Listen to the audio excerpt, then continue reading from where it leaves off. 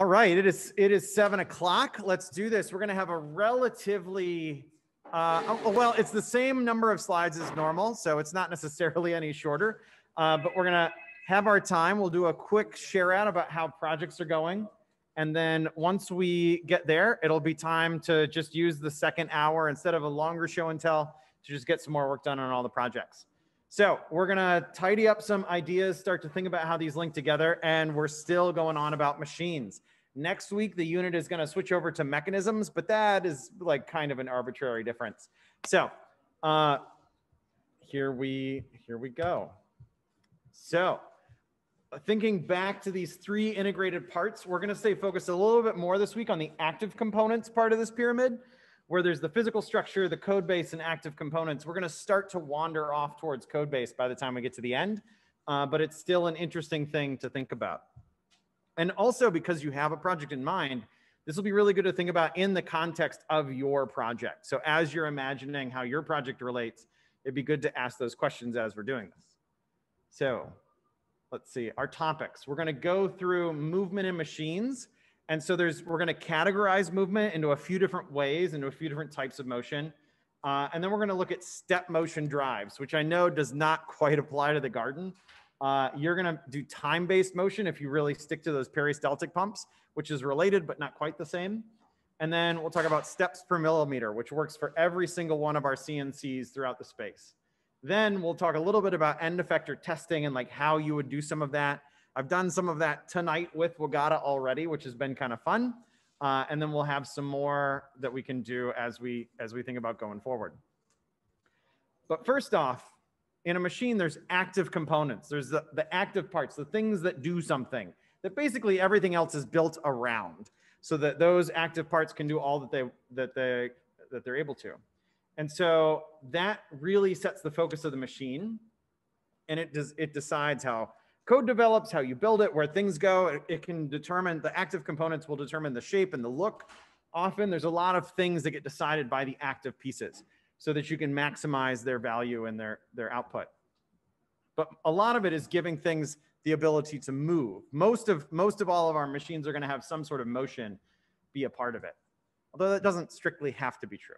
But motion is critical for most machines, for many machines. So let's categorize it because moving in general is too it's too much of a moving target. Uh, I wish I had something more clever in the pocket there, but uh, it is definitely something that we should try and categorize just to better understand it. And so I love this image. This is another one, a throwback to those cardboard stages from Nadya Peek. And they took their design and thought about how can you put different linear motions together to get all sorts of crazy rotations and spinning and moving and sideways and two dimensions, three dimensions, uh, rotational things, all of that to, to move in different ways. But I think in my mind, I boil motions for machines down into two categories and just two, linear and rotational. That's it. Uh, once you get into there, there's steppers for controlling it there's dual and parallel linear motion, which is something that I think has got some serious cost benefits to that often is a subtle point. And then there's actuators, which are for short motions, and we'll talk about those. And then there's four different types of drives. We'll kind of circle back to that in a minute. And then there's the rotary motion, high speed rotation, geared high torque, stepper controller, and then actuators again. So first off, our stepper motors. For the 3D printer that we're repurposing into the drawing bot for the sand, they look a lot like this. This is a NEMA 17 stepper motor. It's a very standard size format. The 17, NEMA stands for something, I'm not sure what. The 17 is the spacing for those holes if you were to drill holes and mount them into a panel. So it's a certain size specification for those stepper motors. And there's also, you can see varying lengths of stepper motor. This is a relatively short one, but by no means the shortest. There's medium, medium size and then the big beefy long ones that you can play with. Uh, and then there's little tiny steppers that don't fit that form factor at all. What's up?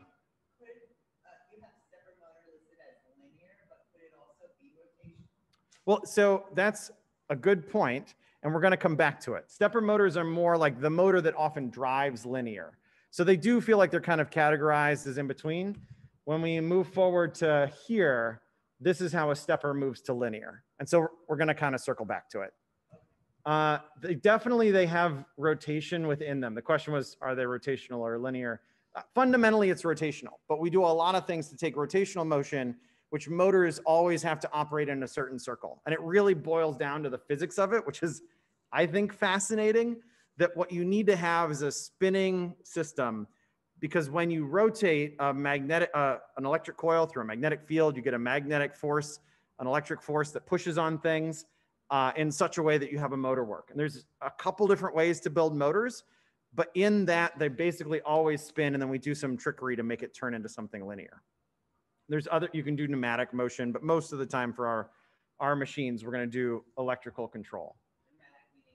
Air, yeah. So you can get linear, and there's a linear drives they're trickier, harder. It's a whole other can of worms if we were to open that. So we're just going to put it in a box and say maybe later.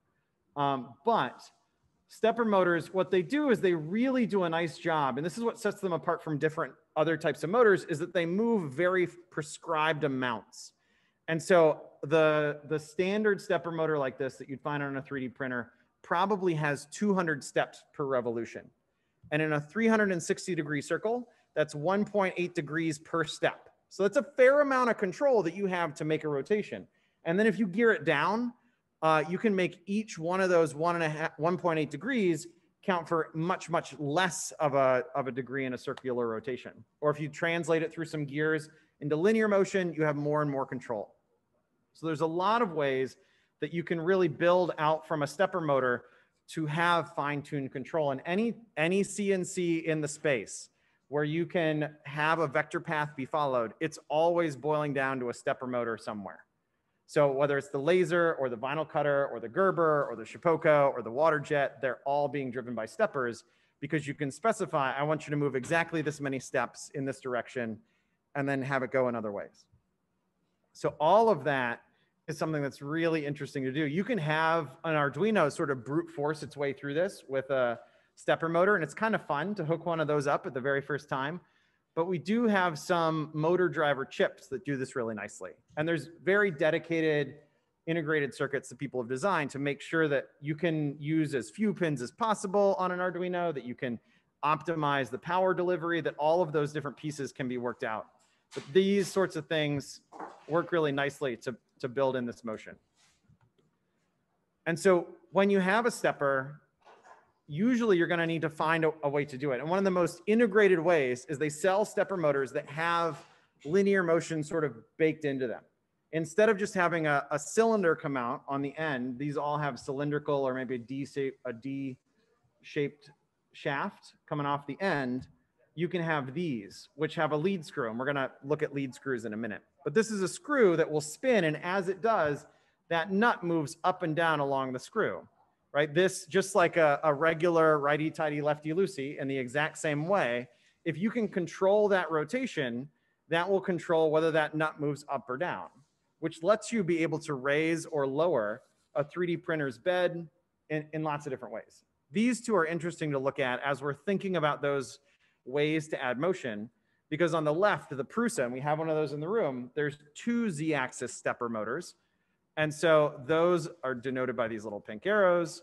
They move up and down here, which is an interesting mechanism. It sort of doubles the, the muscle to lift and lower the bed. So it's a little bit stronger. But the trade off is that you have binding that can happen. There's some dynamics when you do this. It's not, there's no one perfect solution that's going to make it work every time.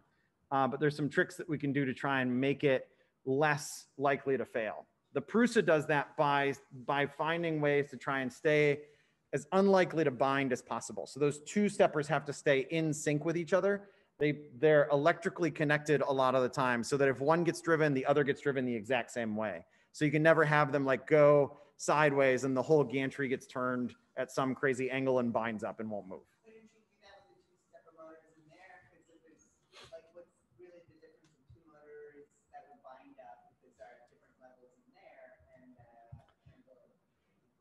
So this guy has, if you look at the Ultimaker, down its back, it just has one lead screw. This vertical line is just a guide rail. So there's only one lead screw. There's no push that would force it to torque. Those are just bearings on the sides holding it together. it's a it's an interesting design choice. It has to be a stronger motor to do that. You have to have stronger pieces so that it can sort of hold it hanging out there without supporting it from both sides. Uh, and in some cases, that works really well. But there's definitely like design choices that have to be put in, and it's why for the the sand art for the sand CNC, my first question was how hard is it to push the magnet around? That's my first question because it, it determines do we need to try and put two motors? Do we need to get a big beefy one? If it's real lightweight and easy to move, then our whole situation gets a lot easier because it's you don't have to worry about all this extra torque. So there's a lot of dynamics that you have to think about as you're doing this for torque and, and those pieces. For a lot of our small scale projects, luckily we won't have to go deep into these weeds. If you wanted to design and, and sell a 3D printer, absolutely you should do the math to make sure that it's going to work exactly right every time. But for our like hack something together quickly, make sure that it works, and as long as it doesn't break, no one's it's not mission critical. It's not a parachute. It's not a it's not one of those it's not an airplane. Those things that have to work just right the first time, then we're going to be good. But these are interesting design choices to think about for the forces that are in play. This being supported on two sides or this being supported just on one. And it's it, at some level, it really is as fundamentally easy as think about picking up a chair, right? You hold it from two sides, it's nice and easy. It's easy to stay balanced. If you grab it with one hand, it's a lot easier to fall over, right? It's the same, same sort of deal. But as we're thinking about those kinds of movements, one thing to think about is how big is your movement? Not only is like how big is it strength wise, but how large does the throw of your movement need to be? Like on airplanes, you have these things called ailerons, which are the little things on the back that you see go up and down. When one day we'll all get on airplanes again, when you're waiting for it to, when you're taxiing around and you see them do the tests, the little, eh, the flaps on the back of the wing, those just move up and down and they often don't need to move very far. And actually, when like when Boeing buys these, they buy really heavy duty, specific ones that do exactly exactly that, and they move just a short distance at high torque. But for a lot of hobby projects, uh, I had a grandfather who liked RC airplanes. And so for RC airplanes, just a standard hobby servo motor can be embedded in the wing, like you see up here at the top. And these can't move very far. This little actuator on a servo just sort of goes back and forth maybe 90 or 180 degrees. But if you look at this mechanism, if this white arm moves backwards, that whole grabber arm here moves this way. And through this mechanism, it moves that aileron down, which is just enough. That's all it takes to, to take the plane and pitch it in one way or the other. And if you're controlling those carefully, that's enough to make a plane steer. So there's plenty of applications where you may need only tiny movements to make something happen. It's, it raises an interesting question of what sort of scale do you need to have for motion to work? Servos are great for little actuators. Here's another good example, like a drawbot with a pen. This, I, I puzzled at this picture for a little bit, but it's a pen that's being held by clips on a pretty heavy little unit that can only move vertically up and down. The servo back there has a little horn that will stand up and when it stands up, the pen is off the paper. And when it lays flat, the pen's weight holds it down onto the paper. So it's a simple little mechanism with an actuator like movement, right? When you're writing with your hand with a pen on paper, in order to not write, you just lift it off very slightly. The same thing is happening from this robot. That little blue servo in there is just able to lift the pen slightly off the paper that it's going over but you can see all these bearings and, and belts and things to try and make it move sideways. There's a whole host of stepper motors that would get it to draw the pictures that you want. But the final end actuator could be just a short, the end effector could be just a short actuator movement of lift the pen, lower the pen, which is, which is interesting. Those sorts of elements of your movement are really important to think about and how do you want to factor them in? The, these are all examples with a servo, and servos are really good at this sort of actuator movement. But there's other types of movement. So coming back to our list between linear and rotary, we should also, and we're going to get to drives in a minute, uh, rotational motion or rotary motion is another important thing. Motors, fundamentally, because they have a spinniness to them, they're often most efficient at high speed. And there's lots and lots of applications where high speed is what you want. Whether it's a spindle on a CNC, whether it's the, the drive wheels on a little RC car or the propellers on a drone, high speed applications low torque, high speed is, is when a motor is going to be its most efficient. And so that means that your drone will fly a little longer if it flies at full speed. Uh, if it's if you stall a motor, if you keep it from turning, that's when it uses the most of its energy. You can actually melt the inside of some cheap motors by holding them still because they'll pass so much current that it'll start to melt things inside. Uh, because when they spin, they're slowly breaking and making their current connections. So there's little intermittent seconds where it's not powered, which is kind of crazy also. And this is a simple, cheap motor. Inside of one of these, you, these are the sort of thing. I grew up in Ohio, so Cedar Point was nearby. nearby. On a hot summer day at Cedar Point, you would buy a $2 fan that you'd blow on yourself while waiting in line for a roller coaster. These were the motors that are like a dime if you were to buy them in bulk. And they are very, very simple, cheap motors. Nope. Uh, but they have little brushes down at the bottom. They're the kind of thing where you plug in power and they just go.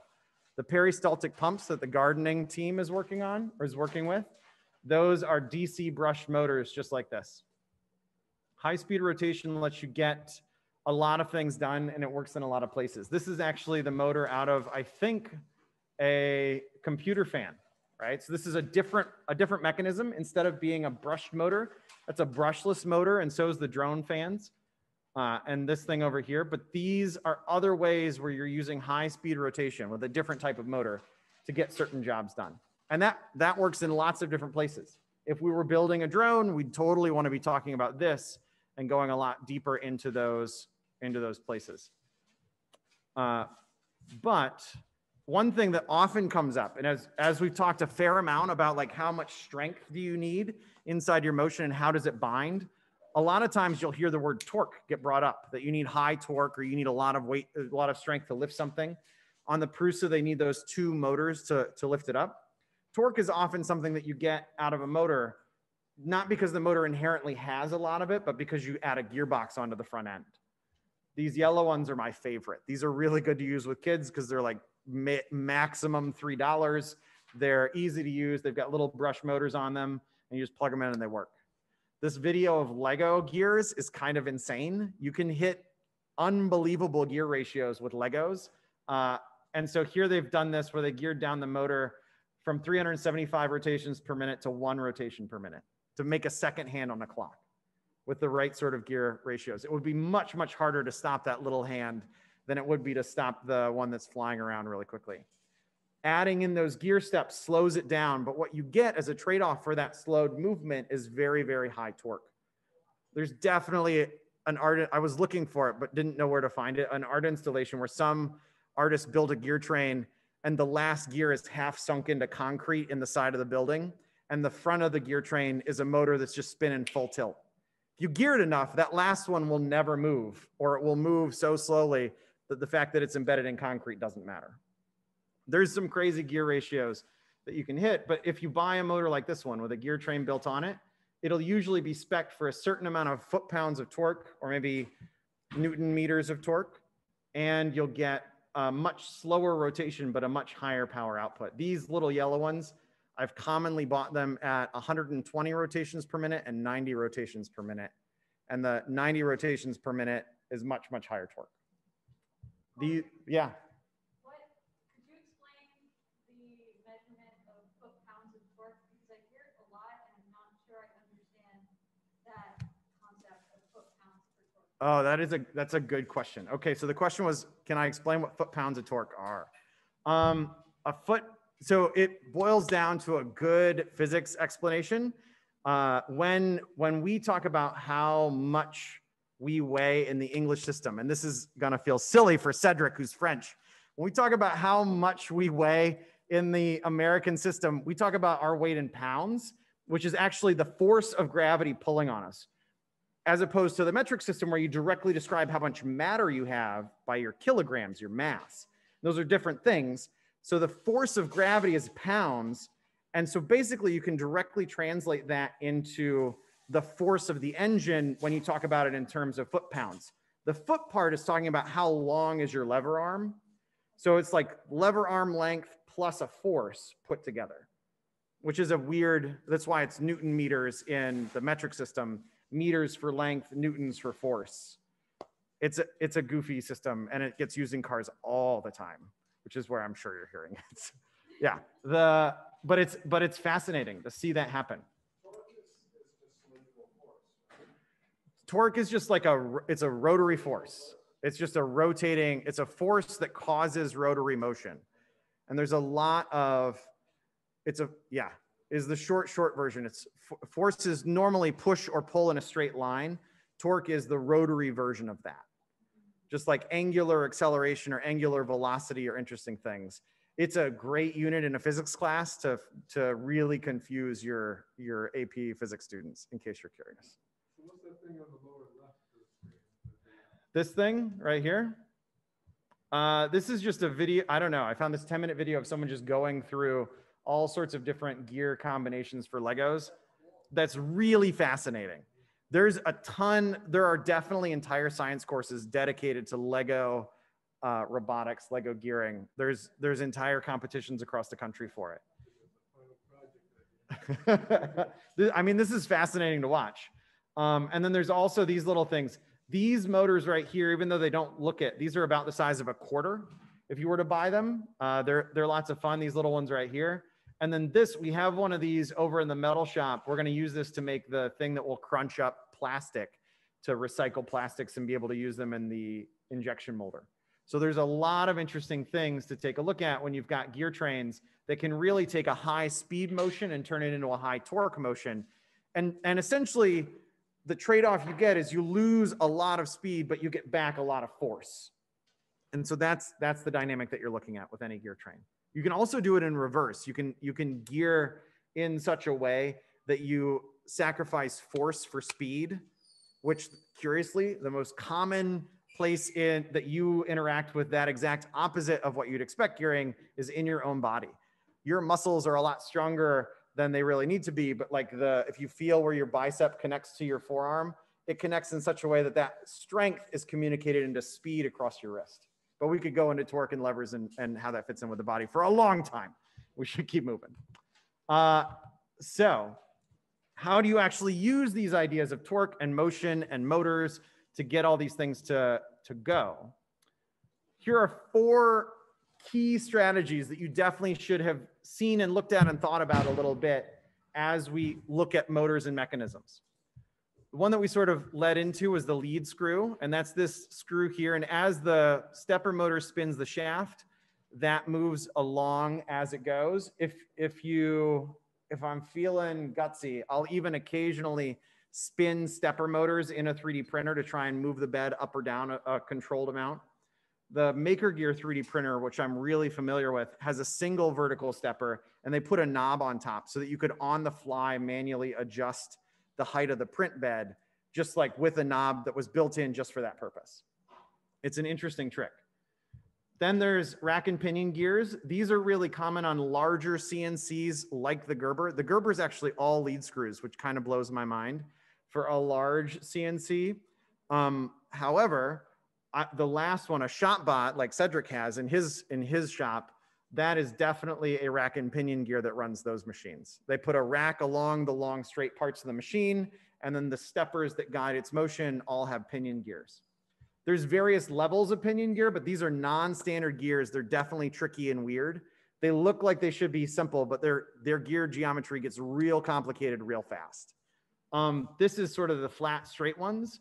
These are the flat straight ones. These are angled. If you can find one that looks like the teeth are in a V shape, those are the absolute best. They have full constant contact all the way across, but they're impossibly hard to machine. So they're very expensive. Not impossibly hard, they're just very hard to machine. This chain sprocket system is one I would not include if it weren't for the Maslow CNC. I'm just including it for that one thing. If you look, this is a CNC kit that you can buy for 500 bucks. Uh, MakeHaven should probably not invest in one. They're just so cool that I need to mention it. Uh, instead of using a whole geared system or lead screws or any of that, they have chains that hold up an end, a router, and the router is held down by the weight of two bricks. And then using polar math, polar coordinate systems, they can lengthen or shorten these two strings and then draw out shapes. We have the drawbot in the back corner. It's very much the same system, but much, much bigger and beefier. So it's a whole- it's a five hundred dollar CNC. You can like attach to the rafters in a garage and pull down when you want to cut a piece out of a sheet of plywood. I've definitely dreamed about having one of these in my own garage one day, uh, but you know that's that's a pipe dream. Are they, are they pretty good? They're mm, short answers in the middle, yes. On the sides, not so much. As you, it's a, because they're related by trigonometric functions. The further out of the middle you get, the less linear their control gets, and someone will figure that out in software one day. But the current versions are still getting their wings. Uh, and then there's tooth belts. These show up most frequently in 3D printers because they work really reliably. They're really good systems. You get full engagement with the stepper motor. Uh, you get lots of motion control accuracy. And usually, the smaller this, this drive gear is, the more accuracy you get. Remember, a stepper can step usually at 1.8 degrees per rotation or per step. And so, if this is super tiny, each rotation moves the belt only a very, very small amount. And so your resolution gets better and better and better the smaller your tooth gear gets. As long as you're like, your belt isn't past its bend radius and a few other things. But essentially, the smallest you can get here uh, on these drive gears, the better you get. These show up very commonly on printers because they are much better than a lead screw for accuracy. To compare these next to each other, the, the chain sprocket is just a weird other one. It's really neat, but but still definitely not the best. Uh, the lead screw is a good workable option, and with a nice lead screw, it can be a good way to go. For most like hobbyist level things, 3D printer level things, it would be the worst of these options though, uh, just because of the price point and quality that they're built at for 3D printers. Then there's the tooth belts are a nice next level up option uh, if you're looking for making a higher quality machine. And the highest end are the rack and pinion gears, but they're very expensive usually. What's up? Yeah. The screw spins and the nut takes as the threads spin, the nut is sort of moved along. I can I should have gotten a bolt and a nut to show you. If I hold the nut still and spin the screw, the screw moves linearly through the nut.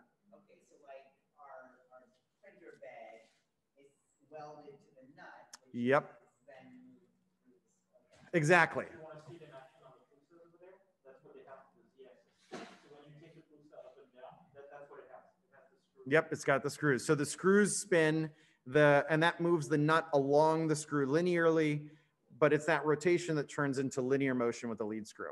There's there's ways to make them nicer. Like you can get anti-backlash nuts that go on them. Those are really fun. They're like spring loaded. Uh, there's a lot of different ways that you can solve this, but the backlash in a lead screw system is why they're not the greatest, but they're totally workable for most projects. Um, and they work really well for us. The Gerber's using them, so they've got to be fine. What's up? One thing about the chain sprocket, if you've ever fancied like drawing on, on the face of a building, the cool thing about that system, and it's the only cool thing about that system Yeah. is the fact that it doesn't cost more to make it bigger. It's just a longer chain, right? So for example, if you attach those two motors on the side of a building, you can literally paint the whole building. Yeah.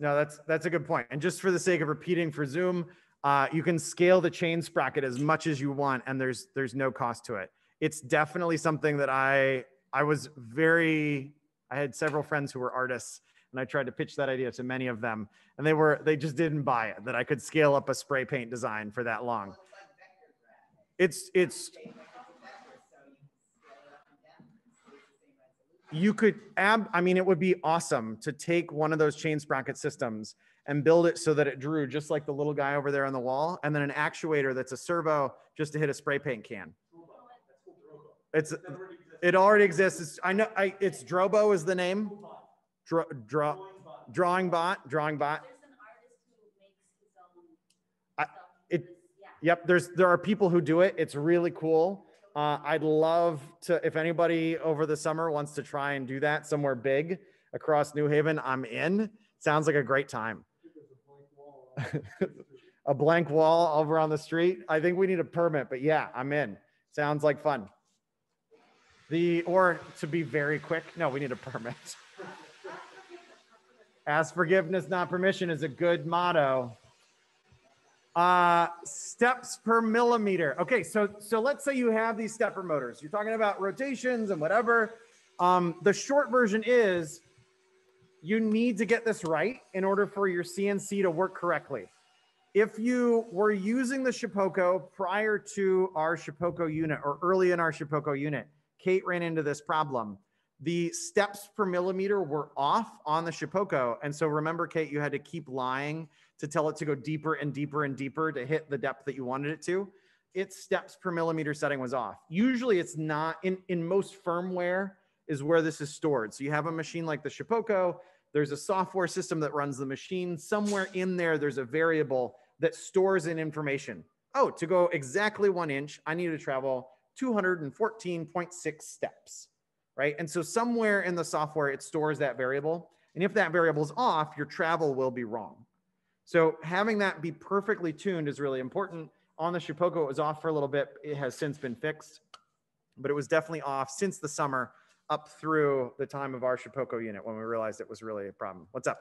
Well, I was just thinking about, um, you know, this chain sprocket thing, and you were saying that it's really good in the middle, but not so much on the, the corners. So if you scaled it up, the actual chains, but then scale the project the, the same, then wouldn't it be, Right. wouldn't the edges be more in? Yeah, if you scale the entire thing up, your middle gets larger with it. And I think that that broadly speaking is going to be true. Plus, the larger it gets, if your motors and chains stay roughly the same size, your steps per millimeter would stay the same size. So you'd have higher resolution anyways, because you'd have more millimeters across your, your drawing, right? If you, you'd have, if you have the same motors and, and chain and sprocket, and it doesn't get any bigger or smaller when you scale the project up, the millimeters stay the same, but your picture gets 15 times larger. Now you've got much better resolution in your picture, sort of.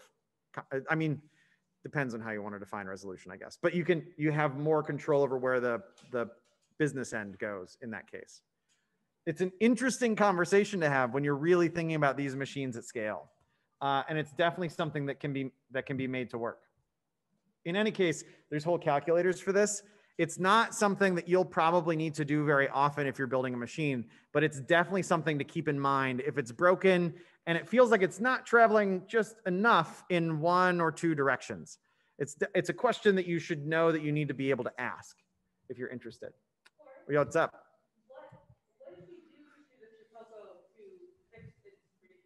There is a setting. So Shapeoko does not spell this out cleanly uh, for steps per millimeter. They asked what type of Z-axis lead screw you were using, and we had selected the wrong one. It, and lead screws are often not labeled, so it wasn't clear to, to do it.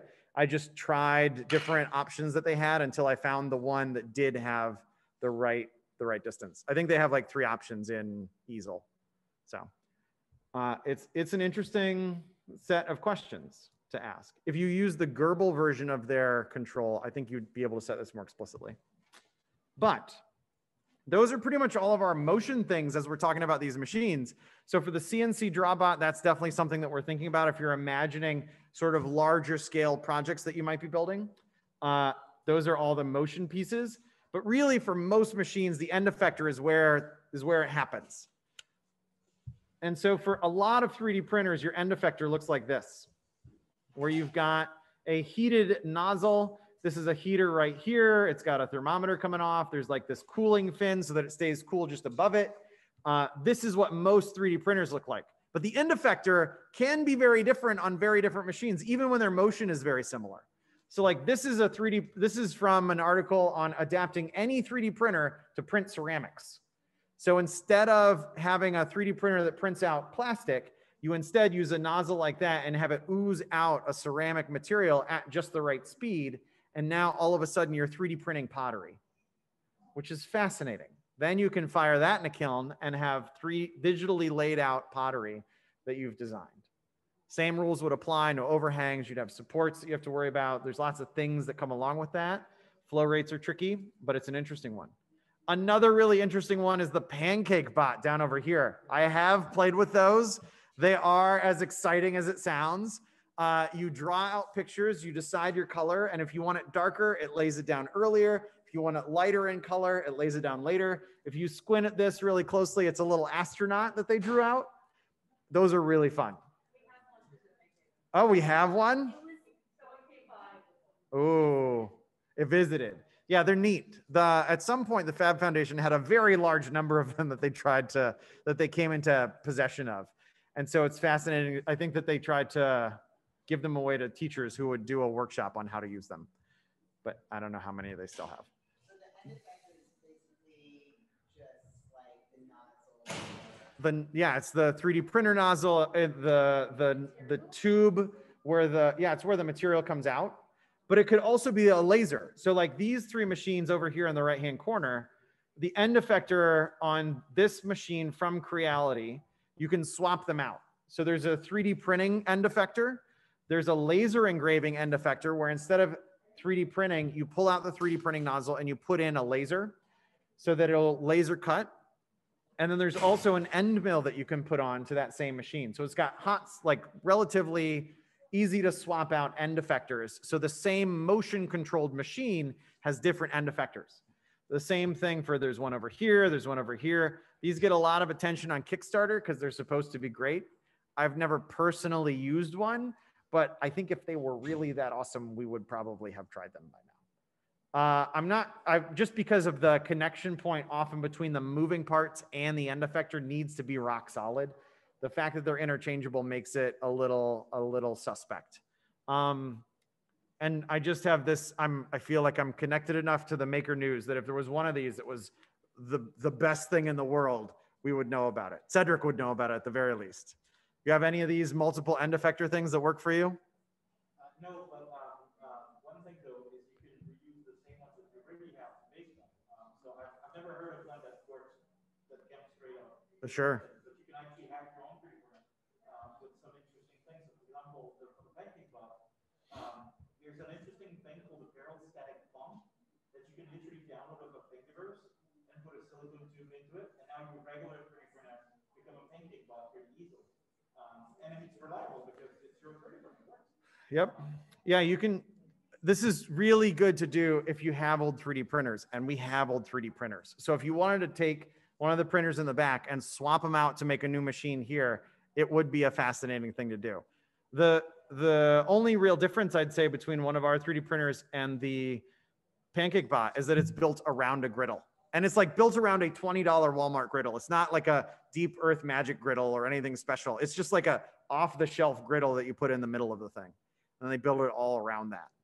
The ones that I played with had a lead screw and a belt drive. And that was that was it to make it happen. I just want to point out the fact that Corey explained all the different forces between uh, the different types of screws and everything else, right? That's why there's no embedded one that really works and that would be cheap. Because for the 3D printer, you, you really don't need precision, but you don't need force.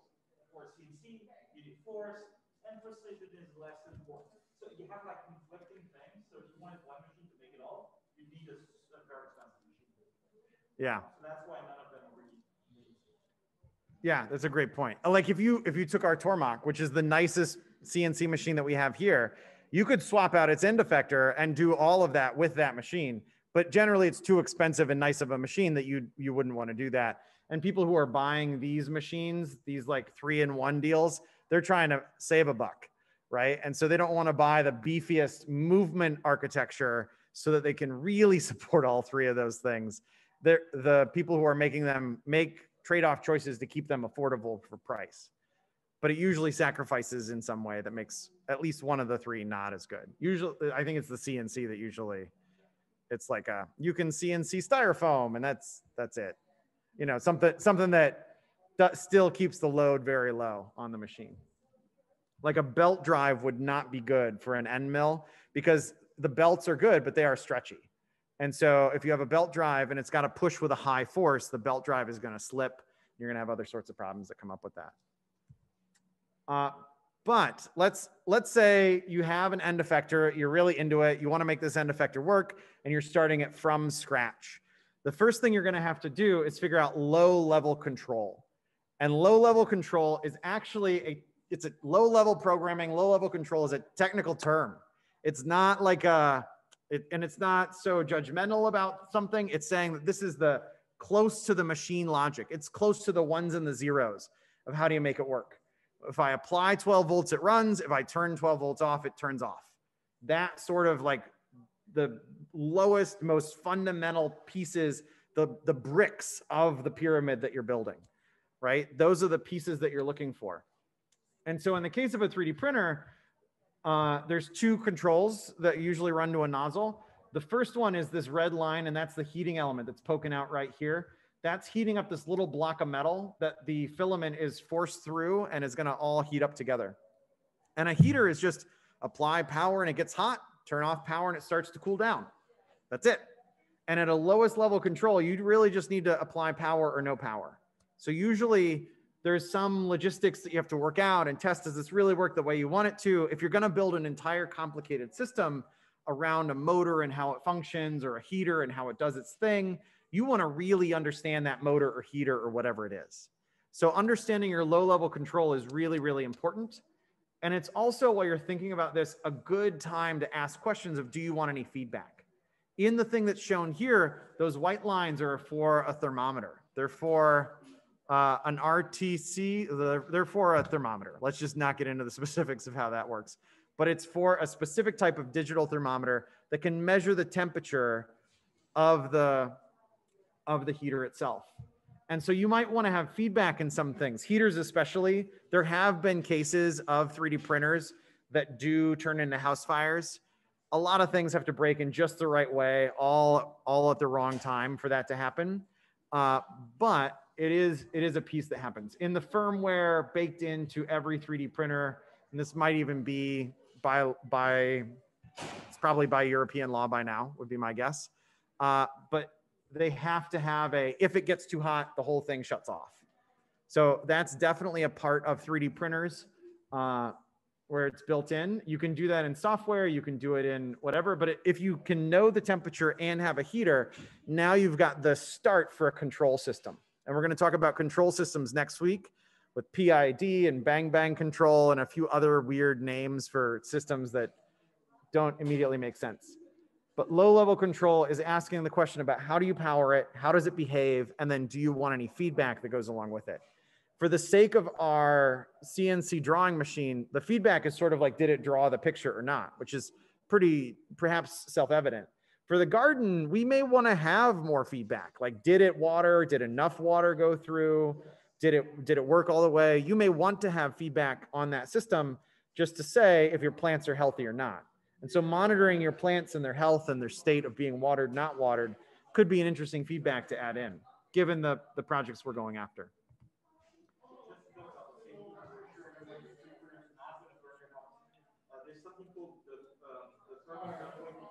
Yeah, that is that is required in all 3D printers, I think now. Yeah, so basically what it does is if it, if it cannot read the temperature, in case it's going crazy, if Mhm. it cannot read a proper temperature, it kills it.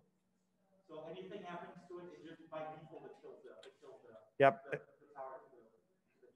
Yep, and it's a very it, it can do that on a very even at a very low level is what I'm gonna say is the way you describe it. But I would do that in the electronics for the thermal runaway protection. I would not do it in code. Like you could do it in code where if the temperature gets too high or you can't read the temperature, then cut power. But for things that are important that could lead to house fires, that's where you want to really have an automatic shut off.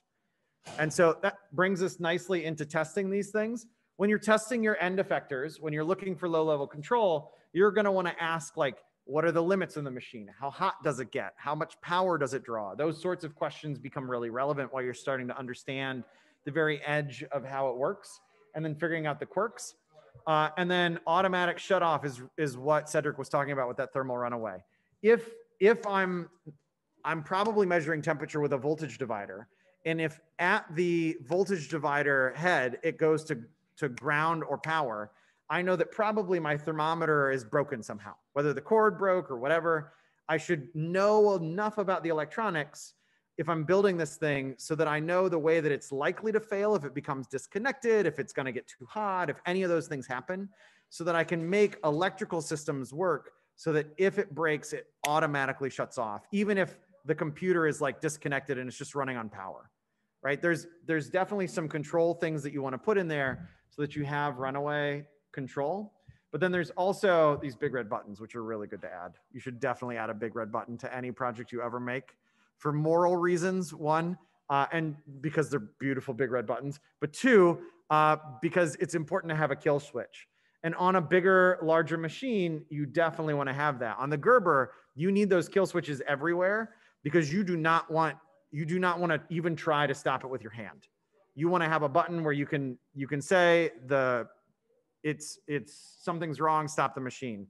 And all of those all of those kill switches are wired in such a way and and yeah, they're wired in such a way that even if the cable just comes loose, it's going to shut off even if you didn't press the button. It's wired so that any sort of failure mode that gets close to pressing the button, effectively the button's pressed. I've definitely been standing around the Gerber wondering why it won't turn on. And Leora and I find that one of these is disconnected somehow, which is actually a feature. It's not a bug. You want it to stop itself very easily because you don't want to have a, a situation where it's in some sort of a uncontrollable motion. So that's definitely a, a good value to have. But there's a fair amount of electrical testing that can go into there. And the more you're deep in the weeds on the electrical engineering for this, the easier this is going to come. But there's there's certainly a lot of good guidance about how to control steppers or end mills or those sorts of things on a pretty fundamental level. So there's a lot that we can work on here. Now, while you're doing that, while you're deciding all those things about your low level, when you're testing them, when you're thinking about your end effector and how to control it at its most basic function, you'll want to start to think about how you're going to write the code. Like how does this how does this object turn into something that makes sense to write code for? And how do I power it? Right? As you're if you realize that your heating element at 24 volts can take up to 2 amps of current, then you need to start to build in a MOSFET that will allow that much power to be handled. Right? You're going to have to start to think about from the measurements and observations that you took of your end effector and your motors, how do you handle all of that? If we're repurposing parts from 3D printers, that's probably a solved problem for us. But if you're building something brand new, it's definitely some math that you're going to have to take into consideration. And this is where MOSFETs and stepper motor drivers uh, like this can really be helpful. And then down here, we've got an interesting pack where this is a geared motor on a, on a stepper motor, a gearbox on a stepper motor. And then you have a stepper motor driver like this along the back here. And even sometimes they put encoders on those to measure how they're moving. But that's another feedback system that we'll get to later. That's a good, it's a, the best example I've got is that I output to this heater power, right? And it's going to get warmer and warmer and warmer. And then that's going to be a computer system that's giving it power. Feedback would be that the computer system can read the temperature. So it's not just putting power out and hoping that it works. Feedback is when you get information back, like the temperature of that hot end, so that you can make actions. Like the serial monitor in our Sort of is exactly like the serial monitor in Arduino. Uh, gives you feedback that your code has worked.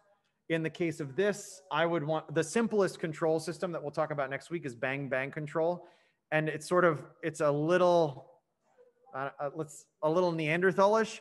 Too cold apply power. Too hot turn off power. That's it. Like that's the that's bang bang control. Like if it's not hot enough make it hotter. If it's too hot cool it down. That's all it's got. So that's a feedback system where you apply heat until it's over the threshold temperature you want. Then it cuts power. Once it cools back down below then it's going to heat it back up again. So it's a really simple, like off on, off on. There's more elegant solutions than that. But that is the feedback control loop that we're going to talk about next week. Um, and so those are interesting things to start to think about as you're doing the system is how do you put out control and how do you get back information about it? If you're thinking about an end mill spinning, you could put a tachyometer, like a rotational measurement tool to measure how much it's spinning uh, to see is it spinning fast enough? Has it slowed down? Has it sped up?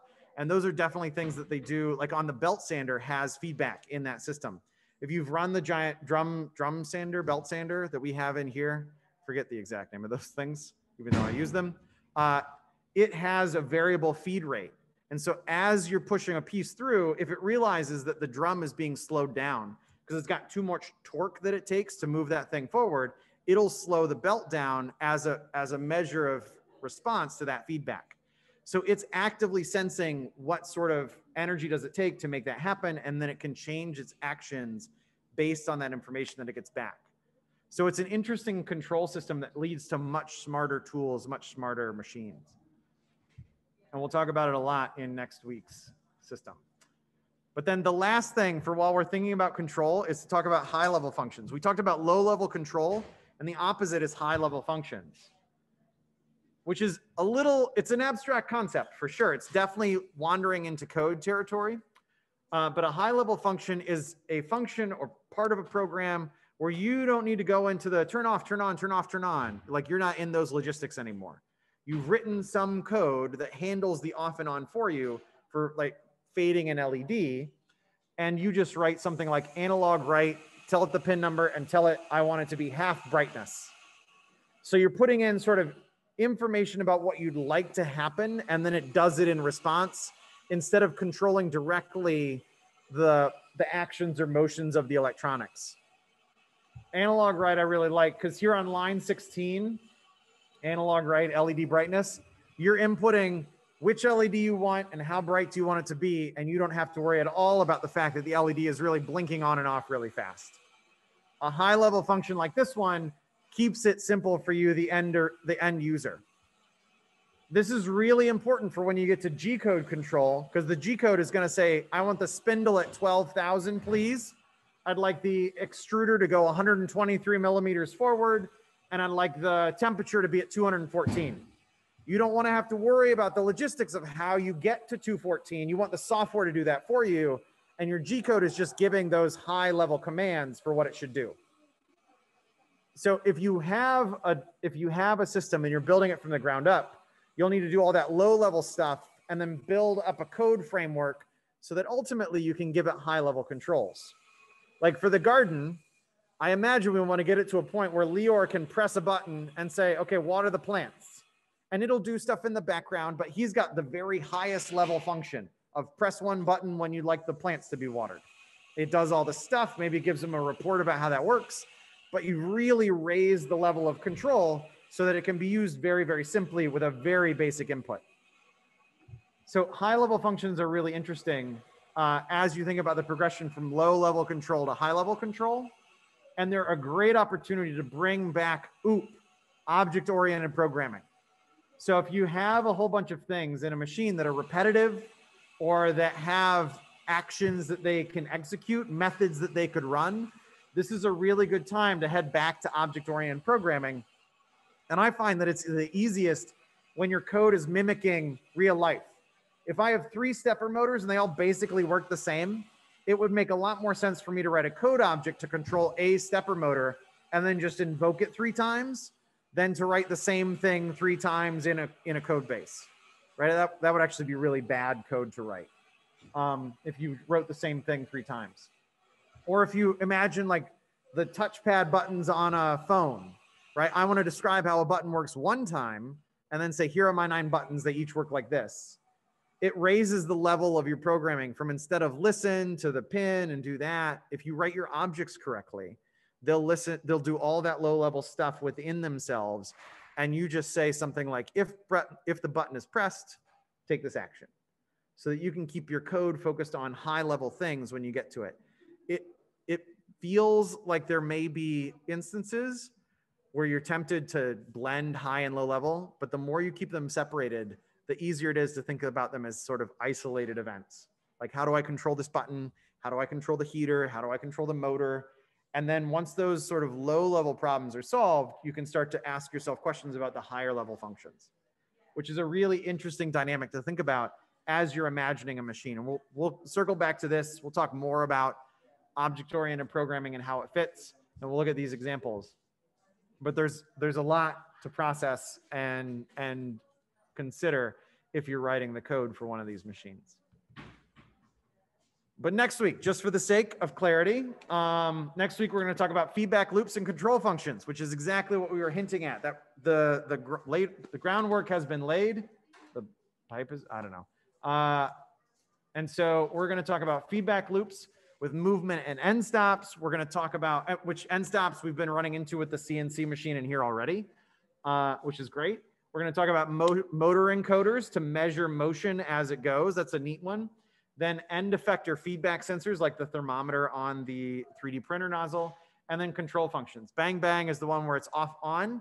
And PID is proportional, integral, and, and direct, which is actually using calculus to control your machines. And it works really nicely and you can tune it really well.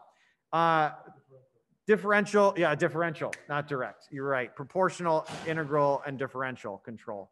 And those three elements together are how you can make a robot that works just like BB-8 works, where it can balance up on one wheel and keep its head upright, as, as well as many other things. Most 3D printers heated beds run under PID control, where they heat them up, and when they get closer to the target temperature, they slow down their heating actually. So they don't just like go all the way up and then turn off when they overheat. It's much more stable. You get much nicer pieces, and it gives you three variables to sort of tune the performance of that. It's a neat trick. So what does PID stand for? It's proportional, integral, and differential. Thanks. I immediately forgot it. It, we're going to talk about it all next week, or well, part of next week. And then startup calibration is another thing. Anytime that you start a 3D print, you'll notice the machine probably does a few things. That's often really important when a machine gets started for it to measure and know where its home is and where what the temperature's at and all those sorts of calibration pieces and why you'd want to include that into your machines. So we'll talk about these are the things for next week, which is definitely going to be more interesting stuff. And hopefully we'll have machines that are even further along and getting close to drawing in sand or watering plants.